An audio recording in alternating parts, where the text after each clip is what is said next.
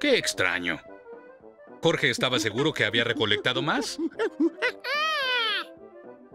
No necesitamos leña, Jorge. Tengo un horno de microondas.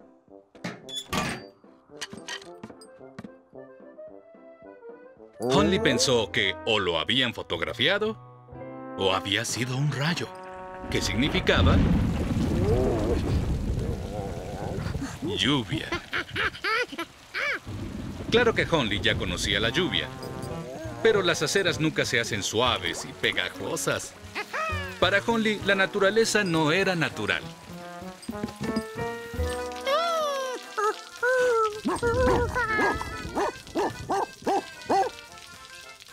¡Ups!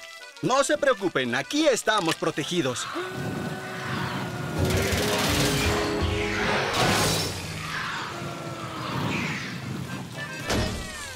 ¿Qué? Sin energía no puedo cerrar la compuerta. De cualquier modo, dudo que se pueda meter mucha agua.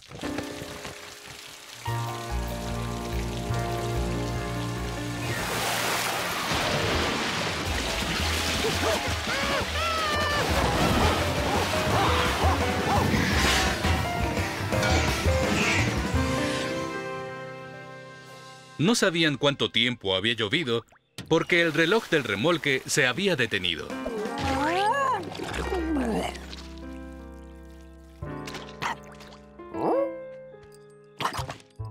Hasta ahora, Holly creía que solo Jorge podía armar tanto desorden.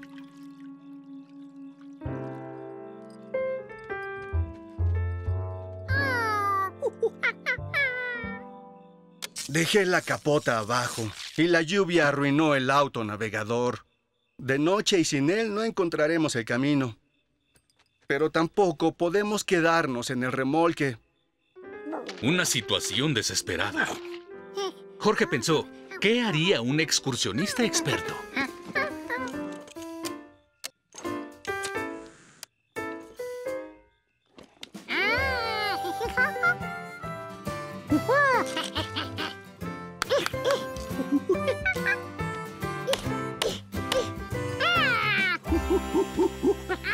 Es una mala idea, Jorge. Pero nuestras bolsas de dormir están mojadas. Y como todo un experto, Jorge sabía con qué se secarían. Si crees que con eso podemos hacer una fogata, te equivocas. Para eso se necesita leña seca.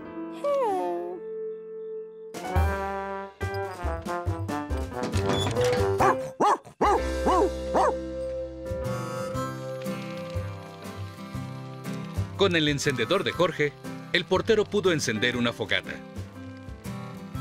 Pero sin electricidad, no podían abrir sus latas. En eso Jorge recordó algo que hacen los excursionistas. Ponen la comida en varas.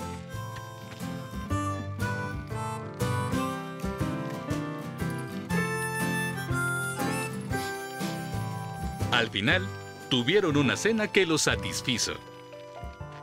Y pudieron dormir muy bien. Hasta Honley.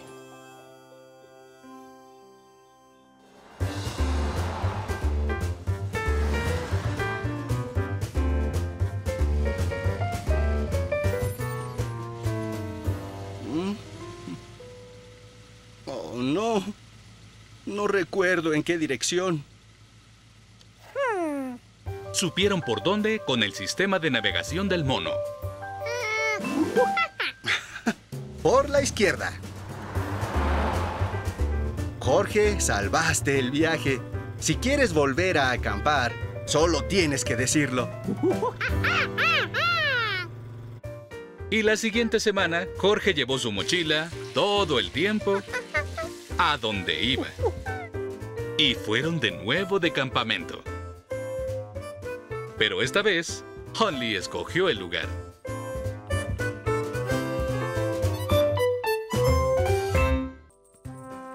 A Honley, el perro salchicha del portero, le gustaba el vestíbulo limpio y organizado, como él. Buenos días, Honley. Pero qué pulcro luces el día de hoy.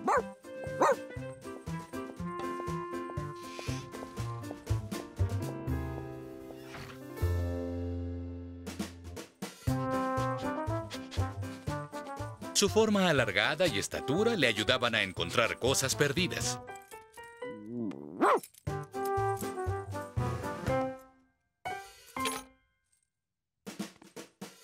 ¡Mis llaves! Gracias, Conley.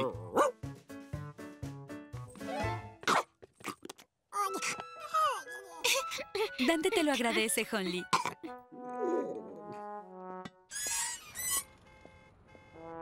Su agudo oído lo hacía un excelente detector de rechinidos.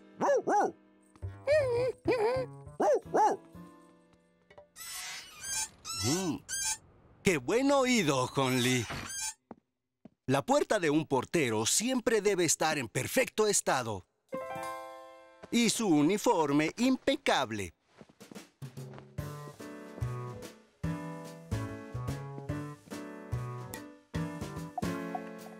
Pero Honley creía que su trabajo más importante era proteger el lugar de Jorge.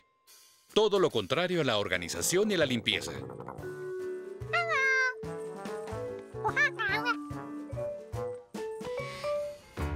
Paquete para el 217. Ven conmigo, Conley. 217.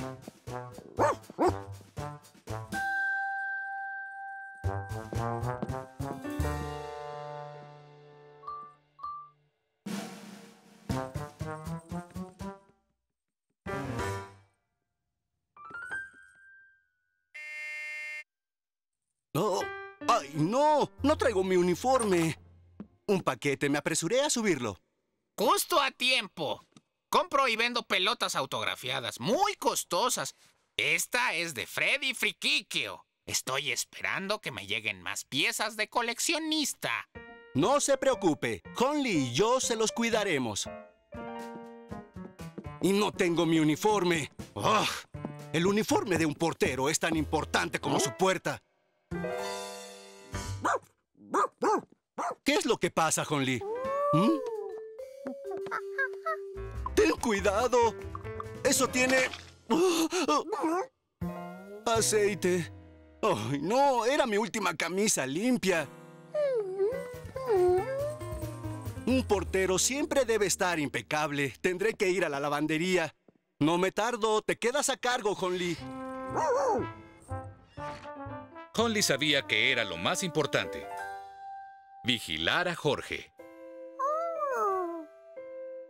Jorge no se había dado cuenta de cuánto le gustaba el uniforme del portero.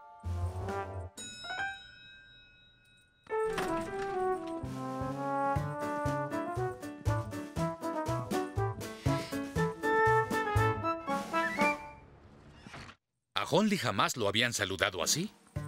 Seguramente estaba haciendo un trabajo excepcional.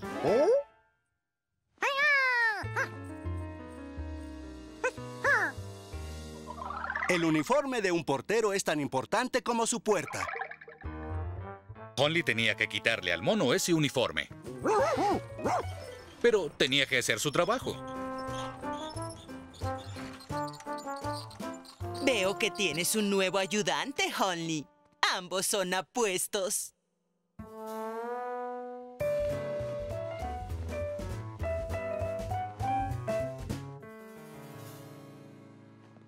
Tengo poco tiempo. Dígame cuánto tardará en quitarle esta mancha. ¿Una mancha de aceite tan grande? Sí, una mancha de aceite tan grande. Exactamente esa. Eso lo sabré hasta que trate de quitarla. Hágalo. Sé que tengo tiempo porque Honley se encargará del vestíbulo. Honley trataba de quitarle la chaqueta a Jorge.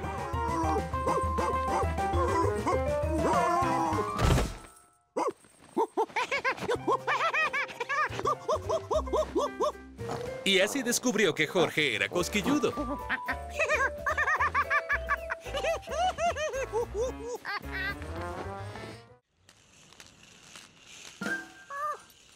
Jorge creyó reconocer esa cola que se dirigía a él. Pero no podía ser Honley. Él no podía ir tan rápido. ¿Cuántos perros salchicha patinadores había en la ciudad?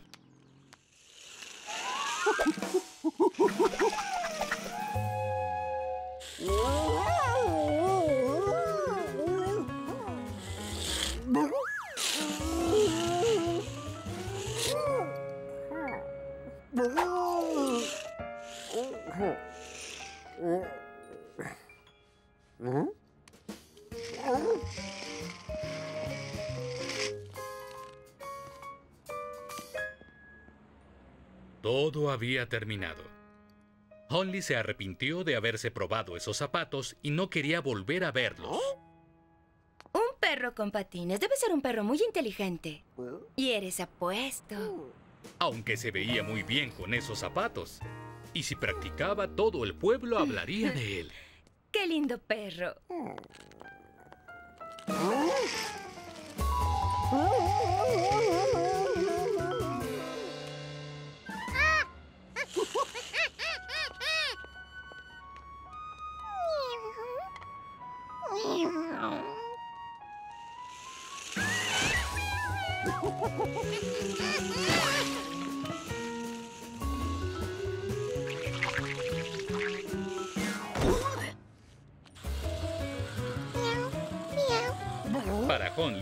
No había nada peor que patinar en picada, fuera de control y con un gato en su lomo.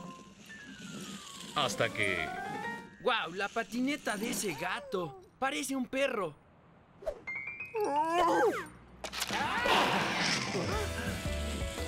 Honley se dio cuenta que cuando el niño se inclinaba, se desplazaba. ¿Por qué no intentarlo?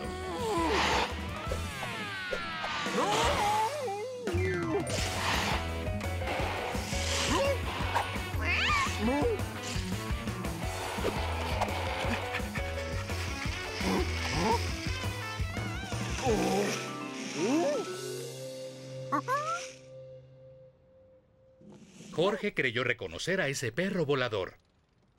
Pero no podía ser Honley. Honley no volaba. Aunque, ¿cuántos equipos de un perro y un gato patinadores había en la ciudad?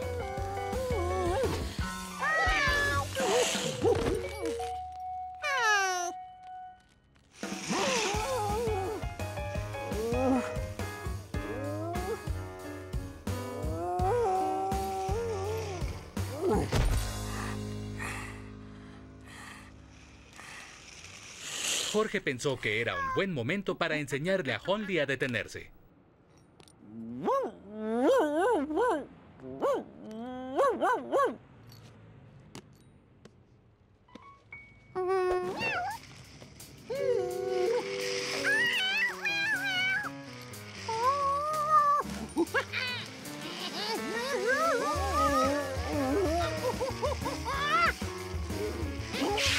Pero aunque Jorge se esforzaba, cada vez iban más rápido.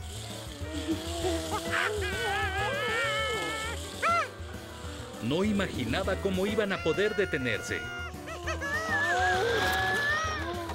Pero lo hizo.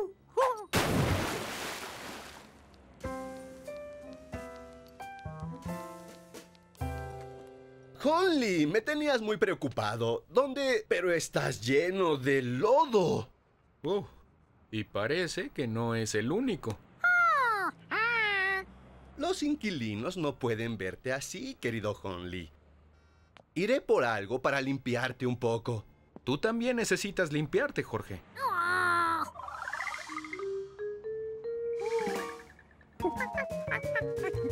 ¡Espera! Jorge,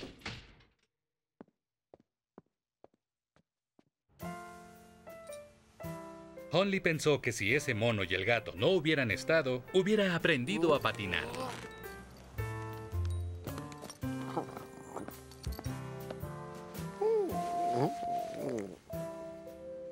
¿Qué? ¿No había dos pares de patines? Debí haberlo imaginado.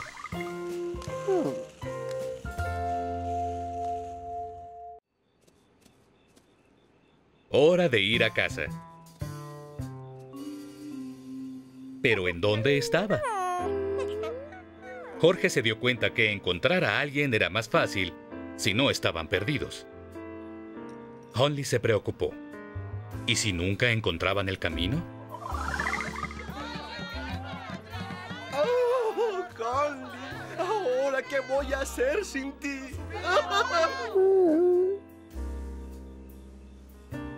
Y no solo estaban perdidos.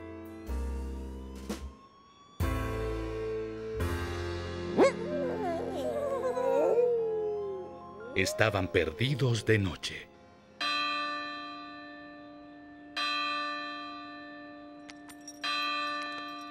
Pero aunque no podían ver el camino a casa, tal vez podrían escucharlo. Jorge trató de recordar los sonidos del camino.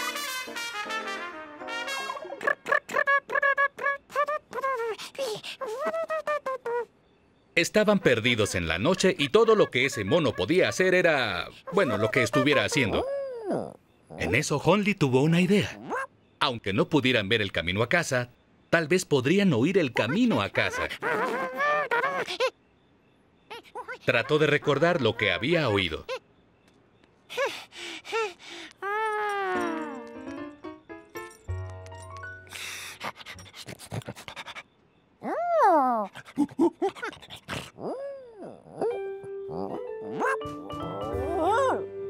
Ahora, todo dependía de las poderosas orejas de Honley. Ese no era el sonido correcto. El músico no podía estar en esa dirección. Ese era el sonido equivocado o le habían cortado la lengua a su trompeta.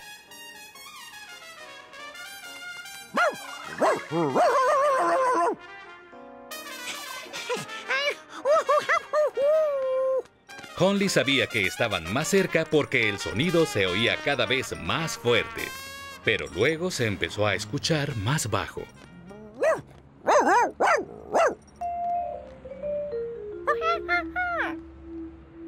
Conley no sabía cómo explicarle que habían pasado el sonido.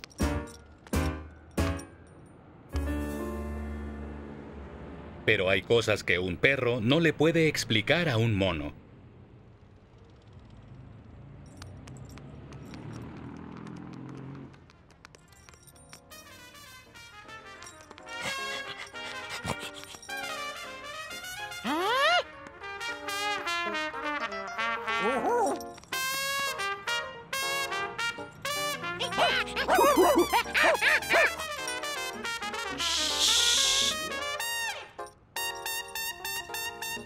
Y así, trabajando juntos en equipo, Jorge recordando lo que había oído. Y Honley usando su agudo oído canino.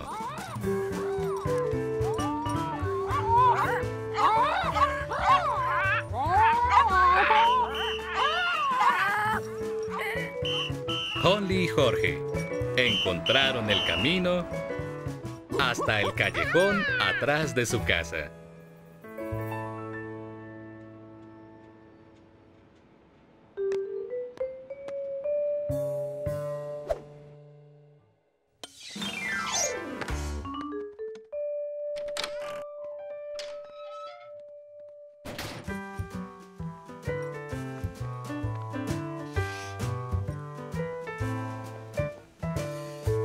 Regresaron gracias a su trabajo en equipo. Honley no sabía por qué había pensado que Jorge causaba problemas. Listo, señor. No tiene idea de lo sucio que estaba. Esta máquina debe tener el agua más sucia del mundo. Jorge quería ver el agua más sucia del mundo.